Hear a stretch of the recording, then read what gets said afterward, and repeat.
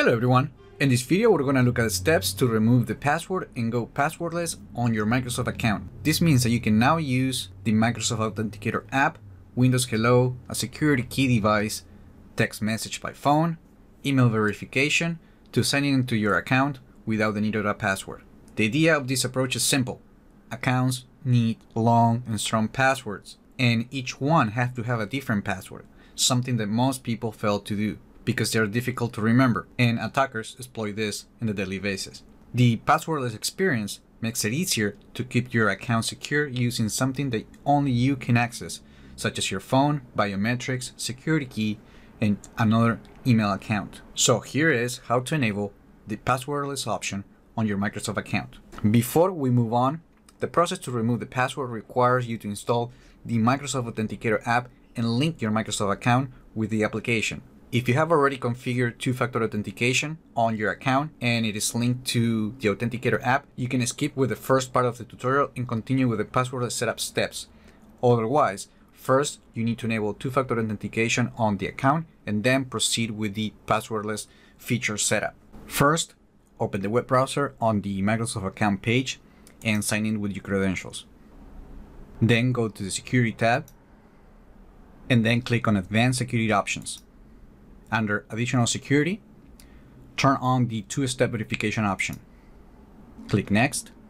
And here we're gonna get the chance to get the Microsoft Authenticator app. To continue, click get it now.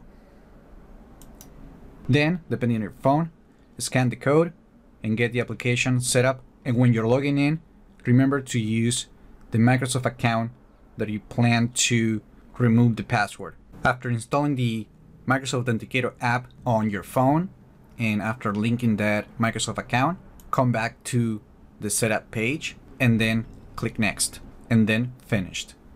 On this page, you can get some information on how to configure an app password if you need to sync your Outlook emails uh, with different devices like Android, iPhone, and BlackBerry. And then click next. And then you also have some information to add other apps using an app password. And then click finished.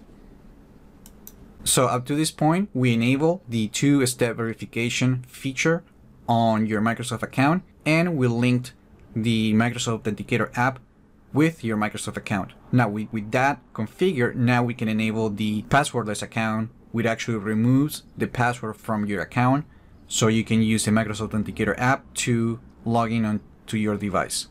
And to do that, you have to log in into your Microsoft account, come to the uh, security tab, and then go to advanced security options and then under additional security turn on the option for passwordless account. Here we're going to click next and then open your phone and authorize the request to remove the password on your computer like I just did with my phone. And now the password has been removed from the account and now we're just going to click done and that is all there's to it. So now to sign in you will always need your Microsoft Authenticator app and a password will no longer be required, which will make the account more secure. And that is all there is to it. Remember to like the video, leave your comments, subscribe to the channel if you haven't done that yet, and I just hope this video was informative for you and I would like to thank you for viewing.